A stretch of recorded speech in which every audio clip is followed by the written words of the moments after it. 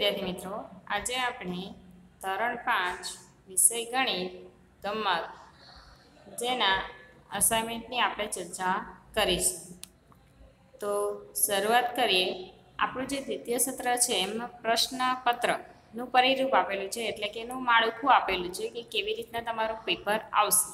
કે પ્રશ્ન એકમાં શું પૂછાશે, પ્રશ્ન બેમાં, એના અબ, કમાં શું પૂછાશે, એના વિશે તમને એક માળખું આપેલું છે. તમારું પાંચ ગુજરાતીનું ગણિતનું પેપર ચાલીસ માર્કનું રહે છે. તો એમાં પ્રશ્ન નંબર એકના અમાં નીચેના દરેક પ્રશ્નના જવાબ માટે આપેલ વિકલ્પોમાંથી સાચો વિકલ્પ શોધીને ક્રમ અક્ષર પ્રશ્નની સામે આપેલા ચોરસ બોક્સ જે તમને સામે છે એમાં લખવાના છે. ચાર માર્ક્સનું એ પૂછાશે. પછી છે નકશા આધારે પ્રશ્નોના જવાબ આપો. એ પણ આપણું ચાર માર્ક્સનું છે એવી રીતના પ્રશ્ન નંબર બેના અમાં જોડકા જોડો બ માંગ્યા મુજબ કરો કમાં નીચે આપેલી વસ્તુઓનું ઉદાહરણ મુજબ માપન કરો. પ્રશ્ન નંબર ત્રણના અમાં માંગ્યા મુજબ ગણો, દાખલા જ આવશે. ત્રણના બમાં માંગ્યા મુજબ ગણો. ચોથા પ્રશ્નના અમાં માહિતી આધારે ચાર્ટ તૈયાર કરો અને બમાં સૂચના મુજબ કરો. પ્રશ્ન નંબર પાંચના અમાં માંગ્યા મુજબ ગણો. ચારમાંથી ગમે તે ત્રણ દાખલા હોય. અને નીચેનું, બમાં છે નીચેનું કોષ્ટક પૂર્ણ કરો. આ રીતના તમારું ચાલીસ માર્કનું ગણિતનું પેપર રહે છે. તેમાં આપણે આજે પ્રશ્ન નંબર એકનો અ અને બ જાણીશું. તો શરૂઆત કરીએ. આપણા જે તૃતીય સેમમાં છે, એમાં અભ્યાસક્રમ મુજબ આઠથી ચૌદ ચેપ્ટર છે. તો એમાંથી પ્રકરણ વાઇઝ તમને પ્રશ્ન આપેલા છે, જે પ્રશ્ન એકના અમાં પૂછાઈ શકે એમ છે. એમસીક્યુ ટાઈપ છે એટલા માટે. તો અહીંયા પહેલો જ તમારો સવાલ છે, ત્રણના છેદમાં ચાર રૂપિયા બરાબર ખાલી જગ્યા નીચે તમને ચાર ઓપ્શન્સ આપેલા છે, એમાં પૈસામાં જવાબ આપેલો છે. એટલે કે ત્રણ ચતુર્થાંશના રૂપિયા બરાબર કેટલા પૈસા થાય છે એમ પૂછવામાં આવ્યું છે. તો દાખલો ગણીએ તો આપણે એક રૂપિયો એક રૂપિયો બરાબર સો પૈસા થાય. બરાબર છે? સો તમારા પૈસા થાય. તો આપણી પાસે કેટલા એમણે આપેલા છે? તો કે આપણને આપ્યું છે એમ. ત્રણના છેદમાં ચાર. ગુણ્ય સો કરી શકું કારણ કે સો પૈસા. હવે આનું આપણે કરવાનું છે. તો તમે ત્રણના છેદમાં ચાર ગુણ્યા સો કરો. તો પંચોતેર જવાબ આવશે. નહીં તો હું તમને કરી આપું કે પચીસનો ઘડિયો બોલો. તો પચીસ ચોક સો થાય. એટલે કે અહીંયા ચાર ને પચીસ સો ને છે કે નહીં અહીંયા પચીસ. પચીસ ગુણ્યા ચાર કરો ને તો સો આવે હવે ચાર સો છે કયા? પચીસ એટલે કે સોમાં પચીસ ગુણ્યા ચાર કરો તો સો આવે, એટલે મેં આવી રીતના અહીંયા પચીસ લખ્યા. હવે પચીસ અને ત્રણ વધ્યા, એટલે પચીસ ગુણ્યા ત્રણ કરો, એટલે તમારો જવાબ આવશે પંચોતેર. એટલે કે તમારો જવાબ આવશે બી પંચોતેર પૈસા. બરાબર છે? એવી જ રીતે તમને જે પણ આપ્યો એને આવી રીતના જ કરવાનું છે. કારણ કે એક રૂપિયો બરાબર સો પૈસા થાય એટલા માટે મેં સો લીધા હતા. હવે બીજો સવાલ છે, એક પેન્સિલની કિંમત ત્રણ પોઈન્ટ પચાસ હોય તો ચાર પેન્સિલની કિંમત કેટલી? તમને એક પેન્સિલની કિંમત આપી દીધી છે ત્રણ પોઈન્ટ પચાસ. એવા ગુણ્યા ચાર કરવાના, કારણ કે આપણે ચાર પેન્સિલ ત્રણ પોઈન્ટ પચાસ ગુણ્યા ચાર. ચારને જીરો વડે ગુણો જીરો. ચાર પચામ વીસો શૂન વધી પડી. બે અહીંયા જીરો આવે. ચાર, ત્રણ, બાર. અને બારને તેને ચૌદ વધીને એટલે ચૌદ. હવે આ પોઈન્ટ પછી બે આંકડા છે ને, ત્રણ પોઈન્ટ પચાસ એટલે પોઈન્ટ પછીના બે આંકડા તમારે કરી નાખવાના. એટલે કેટલાની થાય? ચૌદ રૂપિયાની. એટલે આપણી ચાર પેન્સિલ કેટલાની થાય? ચૌદ રૂપિયાની તો અહીંયા જવાબમાં સી લખેલું જ છે. જીરો પોઈન્ટ પાંચ સેન્ટીમીટર બરાબર ખાલી જગ્યા મીમી. મીમી એટલે કે મિલીમીટર. તો હવે સેન્ટીમીટરને મિલીમીટરમાં ફેરવવાનો છે. તો જીરો પોઈન્ટ પાંચ છે, એને તમે મીમીમાં ફેરવો એટલે એનો જવાબ આવશે તમારો પાંચ. પાંચ મીમી થાય. હવે છે ચોથું કે નવીનની ઊંચાઈ એક મીટર અને ચાલીસ સેમી છે, તો તેને નીચેનામાંથી કઈ રીતે લખી શકાય? નવીનની ઊંચાઈ તમને કીધી છે. એક મીટર અને ચાલીસ સેન્ટીમીટર. એટલે એક પોઈન્ટ ચાલીસ સેન્ટીમીટર એટલે એક પોઈન્ટ ચાલીસ મીટર એને લખી શકાય. એટલે નીચે તમને જે જવાબ આપ્યો છે એ સીનો એક પોઈન્ટ ચાલીસ મીટર. હવે પ્રકરણ નંબર અગિયારના સવાલો છે કે એક લંબચોરસની લંબાઈ બાર સેન્ટીમીટર અને પહોળાઈ આઠ સેન્ટીમીટર છે, તો લંબચોરસની પરિમિતિ સેન્ટી, ખાલી જગ્યા સેન્ટીમીટર છે. તમે લોકોએ લંબચોરસ જોયું, લંબચોરસ કેવું આવે? તો કંઈ આવું આવે. હવે લંબચોરસની લંબાઈ એટલે કે આ ભાગ તમને આપેલો છે બાર. પહોળાઈ આપી છે આઠ. એટલે સમજી લેવાનું કે લંબચોરસ છે તો એની જે અહીંયા લંબાઈ છે એટલી જ અહીંયા પણ હશે અને એની જેટલી પહોળાઈ છે એટલી જ અહીંયા પણ હશે. અને તમને પરિમિતિ શોધવાનું કીધું છે લંબચોરસની પરિમિતિ. પરિમિતિનો અર્થ એવો થાય કે જે પણ તમને આકૃતિ આપી છે એની ચારે બાજુની જે પણ એના સેન્ટીમીટર છે, મીટર છે એનો સરવાળો, એટલે કે ચારે બાજુનો સરવાળો.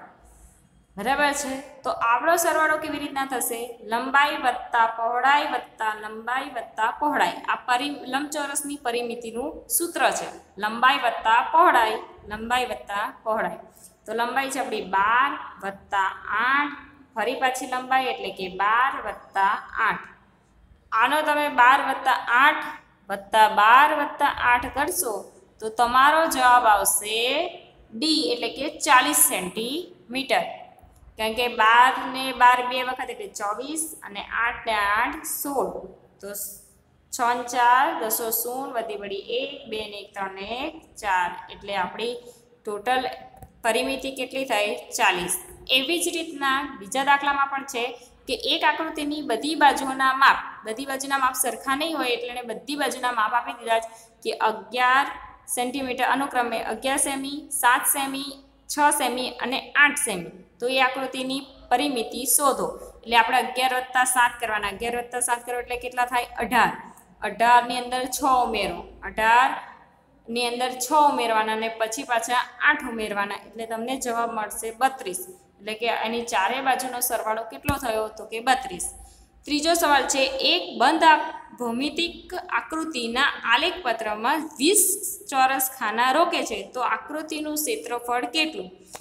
ક્ષેત્રફળ એટલે કે કોઈ પણ આકૃતિ તમને જે આપેલી હોય, સમજી લો કે તમને આ ચોરસ, આ આકૃતિ મેં આપેલી છે. આ આકૃતિએ જેટલી જગ્યા રોકી છે, એને એનું ક્ષેત્રફળ કહેવાય. કોઈ પણ વસ્તુ હોય તો એનું ક્ષેત્રફળ શોધવું એટલે કે એ વસ્તુએ જેટલી જગ્યા રોકી છે, એને એનું ક્ષેત્રફળ કહેવામાં આવે. હવે અહીંયા લખ્યું છે વીસ ચોરસ ખાના રોકે છે. તો વીસ ચોરસ ખાના રોકે એટલે કે એનું ક્ષેત્રફળ કેટલું થયું? તો કે વીસ સેન્ટીમીટર થાય. વીસ ચોરસ સેન્ટીમીટર જેટલું થાય. તો એ જ તમારો જવાબ છે ડી, વીસ સેન્ટીમીટર. ચોથો છે તમારું કે એક બંધ ભૌમિતિક આકૃતિના આલેખપત્રમાં અઢાર પૂરા ચોરસ ખાના છે અને બાર અડધા ચોરસ ખાના રૂકે છે. તો આકૃતિનું ક્ષેત્રફળ ખાલી જગ્યા ચોરસ સેમી છે. અઢાર પૂરા ખાના રોકે છે, એટલે કે એ અઢાર ખાના જેટલી જગ્યા તો રોકે જ છે. એ અઢાર ખાના જેટલી જગ્યા તો રોકે જ છે. પછી લખેલું હતું તમારું કે બાર અડધા ખાના રોકે છે. એટલે બાર અડધા ખાના રોકે, એટલે અડધો ભાગ ખાલી હશે અને અડધો ભાગ ભરેલો હશે. તો આપણે તો અડધાની જ ગણતરી, એટલે બાર ભાગ્યા બે. બાર ભાગ્યા બે કરો એટલે જવાબ શું આવે? તો કે છ. તો બાર, અઢાર વત્તા છ, એટલે કે ટોટલ કેટલા થયા અઢારની અંદર છ ઉમેરો, એટલે છ ને ચૌદનો ચાર ને અડધી પડી એક, એટલે ચોવીસ. એટલે કે આ તમારી જે આકૃતિ છે એ કેટલા ખાનાની જગ્યા રોકતી હશે? ચોવીસ. પ્રકરણ નંબર તેરમાં પહેલો તમારો સવાલ છે, છસો પંચોતેરમાં પંદર સાબુ મળે તો એક સાબુની કિંમત ખાલી જગ્યા છે. જો આવું પૂછવામાં આવે તો તમારે જે પણ કિંમત આપી છે, એટલે કે છસો પંચોતેર ભાગ્યા પંદર કરી નાખવાના એટલે તમને જવાબ એનો મળી જશે. એટલે એનો ગુણાકાર કરતો જવાનો ના આવડતો હોય તો તો તમને જવાબ મળશે પિસ્તાળીસ, એટલે કે એક સાબુની કિંમત પિસ્તાળીસ રૂપિયા હશે, જે તમને બાજુમાં ઓપ્શન્સમાં આપેલું છે. પછી છે બસો એક સોરી બે હજાર એકાણું ભાગ્યા સત્તર. સત્તરનો ઘડિયો કરવો પડશે, તમારે બે હજાર એકાણું ભાગ્યા સત્તર કરવા પડશે, તો એનો જવાબ સી એકસો ત્રેવીસ આવે છે. એમ જ બે હજાર ચારસો છપ્પન ગુણ્યા પંદર. કરશો એટલે તમારો જવાબ આવશે છત્રીસ હજાર આઠસો ચાલીસ. પછી જે એક પુસ્તકની કિંમત એકસો પચીસ હોય, તો પચીસ પુસ્તકોની કુલ કિંમત કેટલી? તો એકસો પચીસ ગુણ્યા પચીસ કરી નાખવાના. એટલે તમને એના ગુણાકારનો જે જવાબ આવશે એ મળી જશે કે એકસો પચીસ ગુણ્યા પચીસ કરવાથી કેટલો જવાબ આવશે ત્રણ હજાર એકસો ને પચીસ. એવી રીતના. ગમે તે રકમ હોય, જો તમને એકની કિંમત આપેલી હોય અને દસની કિંમત, પંદરની કિંમત, બારની કિંમત એવું પૂછવામાં આવે કે એક પુસ્તકની આટલી છે, તો આટલા પુસ્તકોની કેટલી? એવું કરવામાં આવે તો તમારે ગુણાકાર કરવાનો. પણ જો તમને એવું આપી દીધું હોય, જે આપણે આ પહેલા દાખલામાં આવ્યું હતું એવી રીતના, પ્રકરણ તેના પહેલા દાખલામાં, કે પંદર સાબુની કિંમત આપી દીધી છે અને એક સાબુની શોધવાની છે, તો એનામાં શું કરવાનો હશે? ભાગાકાર, એટલે કે ભાગ્યા કરવાના રહેશે. પ્રકરણ નંબર ચૌદમાં છે, પચીસ સેમી ગુણ્યા પંદર સેમી ગુણ્યા દસ સેમી માપના લંબઘન ખોખામાં પાંચ સેમી બાજુવાળા એ કેટલા સમઘન સમાવી શકાય? પહેલાં તો પચીસ ગુણ્યા પંદર ગુણ્યા દસ કરી નાખવાના. બરાબર છે? એટલે તમને એનો જવાબ મળી જશે. આવે છે જવાબ કંઈક ત્રણ હજાર સાતસો ને પચાસ. બરાબર? અને તમે પાંચ સેમી સમઘન એટલે કે પાંચ ગુણ્યા પાંચ ગુણ્યા પાંચ કરો, તો કેટલા થાય? તો કે એકસો પચીસ. હવે ત્રણ હજાર સાતસો પચાસ લંબઘનને એ એકસો પચીસ સમઘનમાં સમાવા છે. તો આપણે શું કરવું પડશે? ભાગ્યા. કરશો તો તમને જવાબ આવશે સી. ત્રીસ સમઘનમાં સમાવી શકાય. પછી છે કે નવ હજાર આઠસો ઘન સેન્ટીમીટર બરાબર ખાલી જગ્યા લીટર.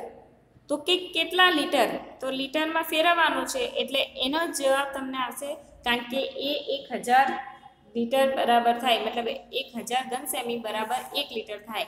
એટલે આપણો જે ઘનસેમી છે, એને ભાગ્યા નવ હજાર આઠસો ભાગ્યા તમારે હજાર કરવાના થાય એટલે એનો જવાબ આવશે તમારો નવ પોઈન્ટ આઠ. પછી છે ત્રીજામાં કે એક લંબઘનનું ઘનફળ બાર ઘનસેમી છે, તો આ લંબઘનની બાજુઓ કરતાં બે ગણા માપની બાજુઓવાળા લંબઘનનું ઘન સેમી કેટલું થાય? તો કે પહેલાં બાર છે, એને ગુણ્યા બે કરી નાખવાના. કારણ કે અહીંયા તમને શું કહેવામાં આવ્યું છે, બે ગણા. એટલે આપણે ગુણ્યા બે કરી નાખવાના. એટલે તમારો જવાબ આવી જાય ચોવીસ. પણ આમાં તમને એમ કીધું છે કે ઘનફળના બાર ઘન સેમીના આ લંબઘનની બાજુઓ કરતાં બે ગણા. હવે લંબઘન છે તો એની બાજુઓ તો હોય, તો એની બાજુઓના બધી બાજુઓના બે ગણા કરવાના છે. એટલે કે એની ચાર બાજુ હોય તો ચારે ચારના બે ગણા કરવાના. છે. એટલે તમારા જવાબમાં ફરક આવશે અને આવશે જવાબ તમારો સી છન્નું. બરાબર છે? પછી છે બે ઘન મીટર બરાબર ખાલી જગ્યા લીટર. તો બે ઘન મીટર એટલે કે તમારા જવાબમાં આવશે બે હજાર લીટર. કારણ કે બે ઘન મીટર ગુણ્યા હજાર કરી નાખો એટલે તમારા બે હજાર લીટર આવશે. હવે છે તમારું પ્રશ્ન નંબર એકનો બ, જેમાં પ્રકરણ નંબર આઠમાંથી તમને કંઈક આકૃતિ આપેલી છે, આલેખ આપેલો છે. એ પ્રમાણે આપણે નીચેના પ્રશ્નોના ઉત્તર આપવાનો છે. તો આપેલું છે પ્રશ્ન નંબર એક, પહેલો એનો, કે અર્પિતાનું ઘર ઉપરથી જોતા નીચે મુજબ દેખાય છે, તો તેના આધારે પ્રશ્નનો જવાબ આપો. પ્રમાણ માપમાં તમને કીધેલું છે કે એક સેન્ટીમીટર, બરાબર બે મીટર. આ જે ચોરસ છે એ એક સેન્ટીમીટર છે, બરાબર આપણે બે મીટર જેટલું સમજવાનું છે. તો શરૂઆત કરીએ. પહેલો જ છે કે ડ્રોઈંગ રૂમનું ક્ષેત્રફળ કેટલું છે? મેં તમને કીધું હતું કે આપણે ક્ષેત્રફળ એટલે કે જગ્યા જેટલી રોકી છે, તો એનો ડબલ કરવાનું થાય. એટલે કે એ તમારું ક્ષેત્રફળ કહેવાય જે જગ્યાએ જેટલી જગ્યા રોકી છે એ. હવે તો અહીંયા એક સેન્ટીમીટર બરાબર બે મીટર કહેવામાં આવે છે. એટલે કે આ એક સેન્ટીમીટર અને આ એક સેન્ટીમીટર એટલે કે બે સેન્ટીમીટરના બે મીટર એટલે કેટલા થાય? ચાર. બરાબર છે? તો હવે એવા કેટલી ડ્રોઈંગ રૂમનું ક્ષેત્રફળ, તો ડ્રોઈંગ રૂમે કેટલી જગ્યા રોકી છે એ? તો તમારે જોવું પડશે કે ડ્રોઈંગ રૂમે કેટલી જગ્યા રોકી છે. પહેલાં તો જગ્યા જોઈ લઈએ. તો જુઓ, આટલેથી આટલી જગ્યા છે, એટલે કે એણે એક, બે, ત્રણ, ચાર, પાંચ, છ છ ખાના આડા અને ત્રણ ખાના ઊભા. એટલે છ, ત્રણ કેટલા થાય? અઢાર. અઢાર ગુણ્યા ચાર કરો એટલે તમારો જવાબ આવશે બોતેર